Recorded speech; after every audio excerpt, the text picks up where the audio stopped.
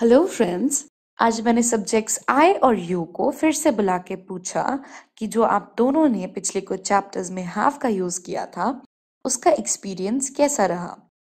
दोस्तों, आपको जानकर अति प्रसन्नता होगी कि दोनों सब्जेक्ट्स हैव के यूज़ से बहुत खुश हैं।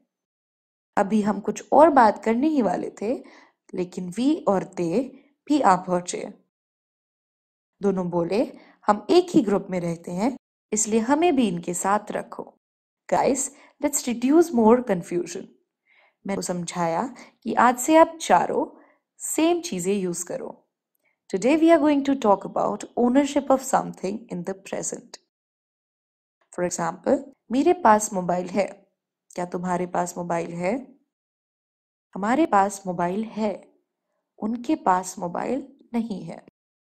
मैंने आई यू वी और दे समझाया कि जब भी किसी भी चीज़ की ओनरशिप के लिए कोई क्वेश्चन पूछना हो प्लीज़ आस्क विद डू और अगर आप चारों को किसी चीज़ की ओनरशिप के बारे में बताना है कि वो चीज़ आपकी नहीं है please use do not have और अगर आप चारों को किसी चीज़ की ओनरशिप के बारे में ये बताना है कि वो चीज़ आपकी है तो आपको डू यूज़ करने की ज़रूरत नहीं। Use here only have. Let's understand some more structures. For questions, we have a structure. Do, subject, have something. Here subject are I, you, we and they. If you have ownership and saying yes, then structure is subject have something. If you don't have ownership and saying no, Please use structure. Subject, don't have something. Let's do practice with some examples. मेरे पास समय नहीं है I don't have time. क्या तुम्हारे पास पाँच minute है Do you have five minutes? हमारे पास किराए का मकान नहीं है We don't have our own house. के पास किराए का मकान है They have rented house. I'm going for tea now. Can you try for others after pausing video? दोस्तों, मेरे पीछे से दूसरे सब्जेक्ट्स जैसे ही शी एंड नेम भी वहाँ पहुँच गए उन्होंने अदर सब्जेक्ट को बोला कि हमें भी आपके वाले वर्ड्स दो हमें भी ओनरशिप वाले सेंटेंसेस बोलने हैं फॉर एग्ज़ाम्पल क्या अक्षय के पास समय है? उसके पास समय है, उसके पास समय नहीं है। अदर सब्जेक्ट्स ने पहले तो बिल्कुल मना कर दिया।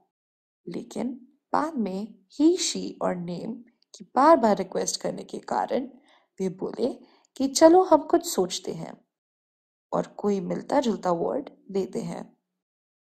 आप डू की जगह डज यूज़ कर सकते हैं। Let's understand some structures for these subjects. For questions, we have a structure Does subjects have something? Here subject are he, she, name. If there is ownership and saying yes, subject has something. If there is no ownership, please use structure subject does not have something. Let's do practice with some examples. क्या उसके पास credit card है? Does he have credit card क्या पिताजी के पास car है? Does father have car उसका बैंक में अकाउंट नहीं है। He does not have a bank account उसके पास शादी के कपड़े नहीं है। She does not have clothes can you speak now for the remaining lines guys अब मैंने सभी सब्जेक्ट्स ये पूछने के लिए बुलाया है कि उनको प्रेजेंट की ओनरशिप को लेके एक्सपीरियंस कैसा रहा। ही शी और नेम ने पूछा कि क्या आप हम सबको सेम वर्ड्स दे सकते हैं? I told them now I cannot make changes in the present sentences. But now you all subjects can use common words for past and future sentences. Let's go with past first for ownership of something जब भी किसी चीज़ की ownership के लिए कोई question पूछना हो please ask with did and use structure did subject have something here subject can be any one from these subject और अगर आप सबको किसी चीज़ की ओनरशिप के बारे में ये बताना है कि वो चीज़ आपकी नहीं है please use did not Here is the structure for this. Subject did not have something. अगर आप सबको किसी चीज़ की ओनरशिप के बारे में ये बताना है कि वो चीज़ आपकी है please use had. It is the second form of have and has. Here is the structure for the same subject had something. Let's do practice with some more examples. क्या तुम्हारे पास खुले पैसे थे? डिड यू हैव चेंज उसके पास laptop था। He had laptop मेरे पास दवाई नहीं थी। I did not have medicine guys can you speak for others Now we are going to future sentences. For ownership of something जब भी किसी चीज़ की ओनरशिप के लिए कोई क्वेश्चन पूछना हो please ask with will and use structure will subject have something here subjects can be all the subjects अगर आप सबको किसी चीज़ की ओनरशिप के बारे में बताना है कि वो चीज़ आपकी है please use will have here is a structure for this subject will have something. और अगर किसी चीज़ की ओनरशिप के बारे में बताना है कि वो चीज़ आपकी नहीं है please use will not have we have a structure here subject will not have something let's do practice with some examples क्या तुम्हारे पास खुले पैसे होंगे? विल यू हैव चेंज एक दिन मेरे पास खूब पैसे होंगे। One day I have lot of money तुम्हारे पास एक पैसा भी नहीं होगा। You will not have a single penny guys it's your turn now please speak the remaining sentences in English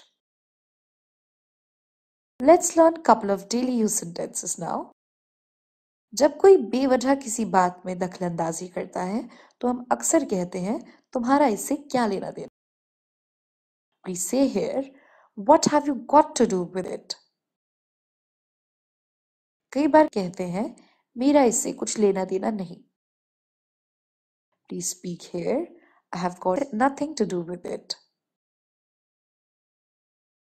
Let's go to the next section for the word for a person. What's going on in this picture? Here is talve chaatne wala or chaplus. It means Butt liquor. Guys, have you ever seen bootlickers? दोस्तों हम चुनावों के समय विकास देखकर खुश हो जाते हैं लेकिन बाद में पता चलता है कि चार दिन की चांदनी है इसके बाद फिर से वो ही अंधेरी रात होगी idiom for the day is Nine days' wonder. Beauty is nine days' wonder. Handsome is the one who does handsome work. Let's do practice now. Please pause the video. Thank you guys. Have a nice time. Bye bye.